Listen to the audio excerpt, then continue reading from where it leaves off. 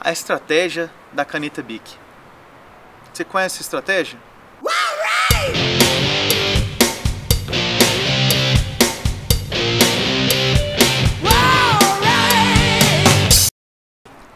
Essa estratégia é muito usada hoje em dia em websites, softwares, aplicativos e jogos. Muito, muito usado.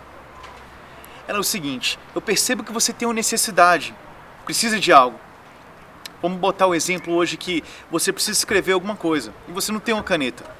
Então eu te dou de presente, de graça, uma caneta, uma necessidade, de graça. Com isso você consegue escrever com essa caneta, por exemplo. E com isso eu criei um relacionamento com você, certo? Só que eu te dei a caneta sem a tampa. Eu fiquei com a tampa. Eu falo o seguinte, olha, a caneta é sua, você pode guardar, usar quando você quiser. Provavelmente você vai precisar usar essa caneta outros dias. Mas eu tenho aqui a tampa. A tampa é um supérfluo, correto? Eu falo o seguinte, eu te vendo essa tampa. Você precisa da tampa para escrever? Não. Você pode continuar escrevendo com a sua caneta.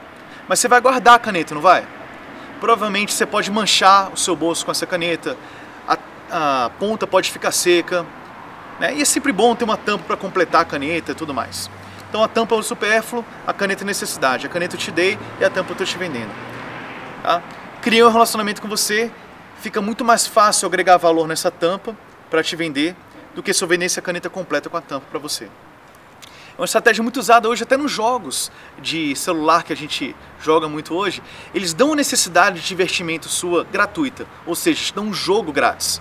Você entra no jogo e lá dentro, ou você pode gastar seu tempo tentando conquistar um item especial para você, ou você pode ir lá e comprar esse item, que é entre aspas um supérfluo para você. Muitos outros websites, softwares fazem isso, como o Dropbox, te dão necessidade de 10 GB para você ali de graça e te dão supérfluo, te vendem mais 100, 200, 300 GB caso você queira. Então, é isso que eu queria passar para vocês hoje de mensagem, pessoal. Essa é a estratégia da caneta Bic. É você dar uma necessidade em vender um supérfluo. Como você pode aplicar isso nos seus negócios? Como você pode aplicar isso na tua startup? Pensa nessa estratégia. De repente você cria uma, uma vantagem competitiva grande aí dentro da sua startup, dentro da sua empresa com isso.